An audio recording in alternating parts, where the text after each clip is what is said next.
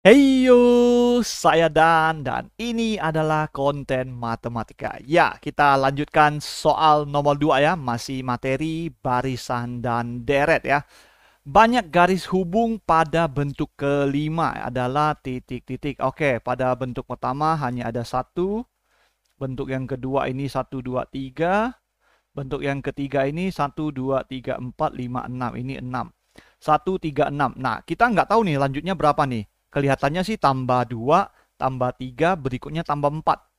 Ini coba ya, kita akan coba buat yang 5 buah nih benar gak? Ini ada 5 buah titik, 1, 2, 3, 4, 5. Ini kan 1, 2, 3, 4, 5, 6, 7, 8, 9, 10 ya. Ini ada 10. Berarti benar ya? Pada pola pertama, Pola 1 itu sama dengan 1. Pola 2 berarti 1 tambah 2. Pola 3 itu berarti 1 tambah 2 tambah 3 ya. Tambah 3. Berarti pola 4, pola 4 kan hasilnya 10. Berarti 1 tambah 2 tambah 3 tambah 4 ya.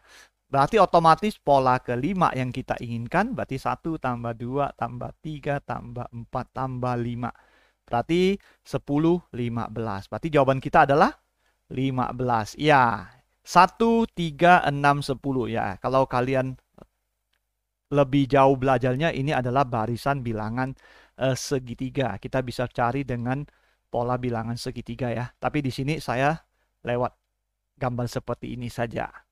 Kalau kalian bingung, kalian bisa gambar 6 buah titik lalu coba dihubungkan untuk membuktikannya bahwa garis hubungnya ada sebanyak 15. Jadi tidak perlu terpatok pada polanya, dari gambar juga bisa kita buat.